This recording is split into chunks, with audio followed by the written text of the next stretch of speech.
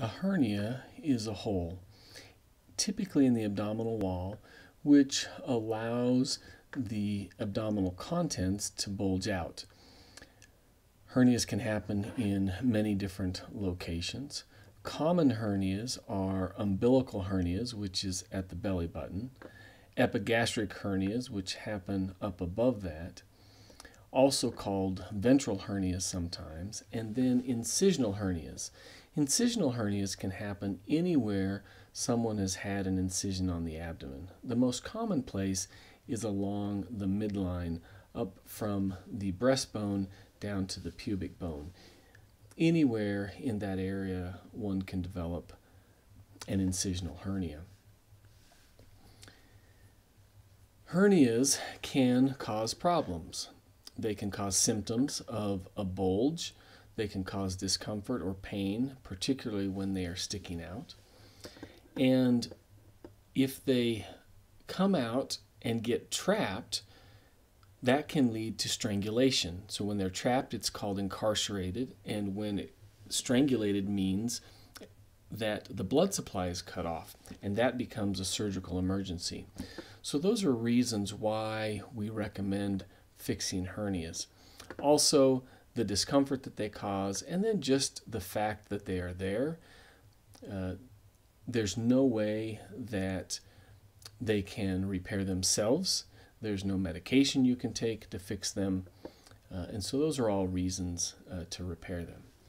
Alternatives to fixing hernias would be observation, which means just watching it. Now, if it's a small hernia, it's not causing any significant symptoms, that's a reasonable approach. If the hernia gets larger and starts causing symptoms, then that's probably not a good way to continue.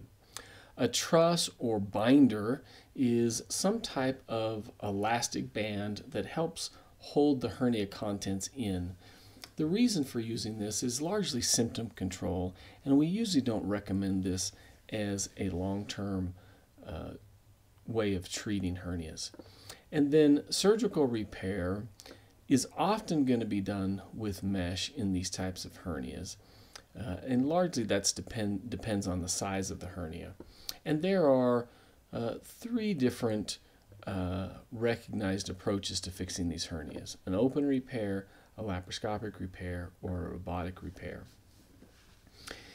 In an open repair, depending on what type of hernia it is, we usually make an incision and then put in some mesh. For example, if it's an umbilical hernia, we'll typically make a small incision under the umbilicus and then go in and if it's a small opening, put in some sutures.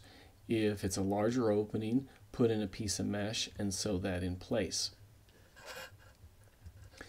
If it's a, an epigastric or ventral or incisional hernia, for an open repair, we typically make an incision through the old scar and go in and then sew in a piece of mesh. If it's a very small epigastric or ventral hernia, it can be done just with sutures, but if it's of any size, if mesh is not used, there's a very, very high recurrence rate. The laparoscopic and robotic approaches are similar in that we make small incisions, usually on the side of the abdomen, and come inside with a scope and then look over to the area of the hernia and end up putting in some type of mesh which will cover the whole area of the hernia defect. And then that's either tacked or sewn in place um, to keep it in place. The advantages of doing a hernia repair laparoscopically or robotically are that you have small incisions.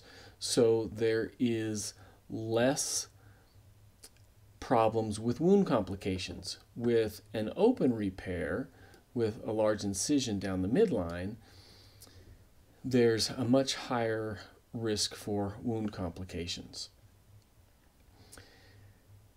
With an open or laparoscopic repair, there tends to be quite a bit of pain because we have to use sutures or tacks to hold these mesh in, play, the, the mesh is in place and they go through the abdominal wall and that can cause significant pain. In the robotic approach, the mesh is often sewn in place and that seems to cause less pain than the other two approaches. Now, not every approach is an option for every type of hernia, so you'll really need to ask your surgeon which is the best approach for you and the hernia that you have. Now, every operation carries some risk.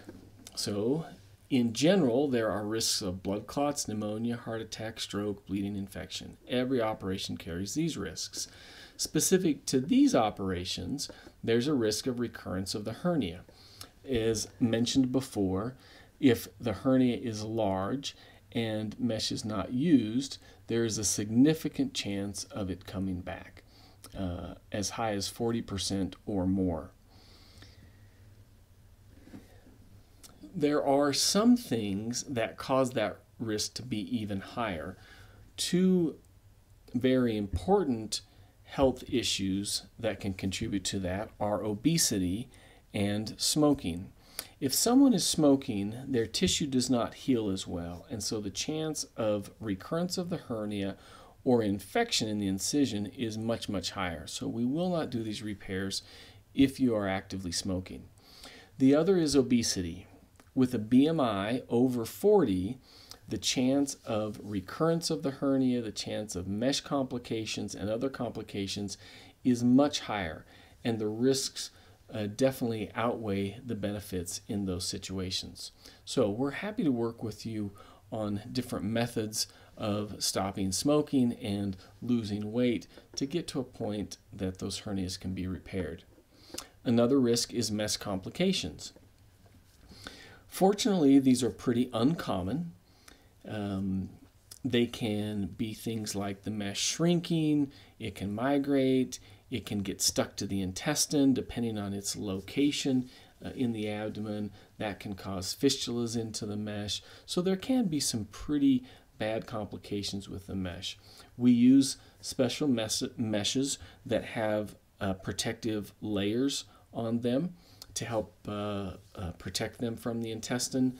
And we do a variety of other techniques in placement to try to minimize those risks.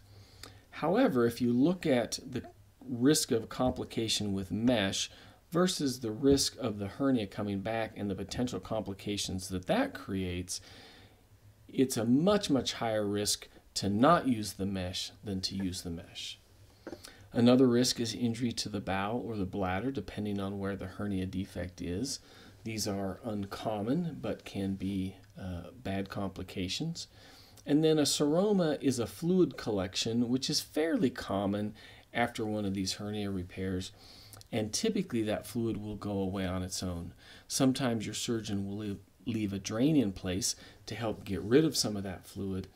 Uh, and sometimes, if the fluid is accumulated, it will need to be aspirated, or in other words, a needle will be placed into it to pull the fluid off. But most of the time, we can just watch them and they go away on their own.